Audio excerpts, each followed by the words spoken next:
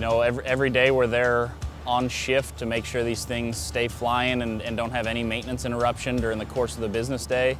And then at night, it's, uh, it's go, go, go until we get this thing up and ready to fly the next morning by the beginning of business.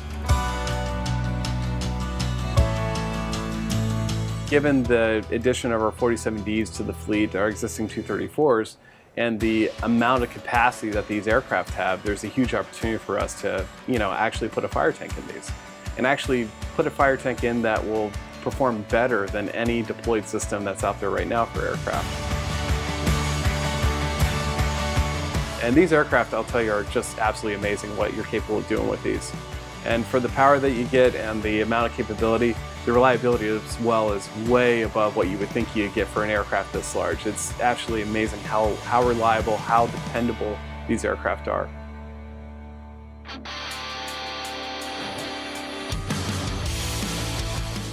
We are focused on meeting the needs of the customer. We go above and beyond what our competitors do because we we, we want to be prepared. We want to set the pace. We want to be available for the uh, Forest Service or whoever the customer is.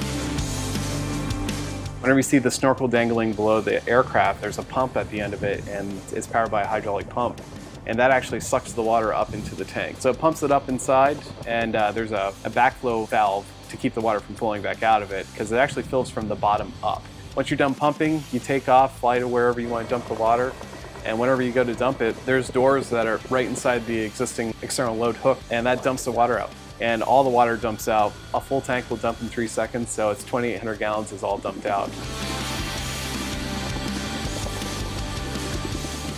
This helicopter is the largest civil helicopter available for firefighting. It can deliver the uh, biggest payload of water to a fire.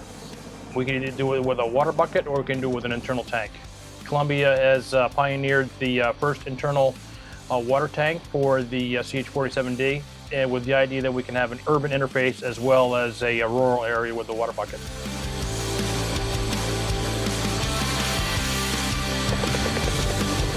This system is the way things are going with this industry. And I, I, think right now with this model, we're ahead of the power curve with that. And this is an awesome machine that, that we're going to see well into the future working on fires and supporting uh, the U.S. Forest Service and hopefully other agencies abroad. At the end of the day, the biggest thing that we always concentrate on is satisfying the customer. And this is why, you know, it's great having the relationships that we do because it gives us an opportunity to really have that conversation and see what can we do better. And the great thing about Columbia is, is that we will do things to make it better.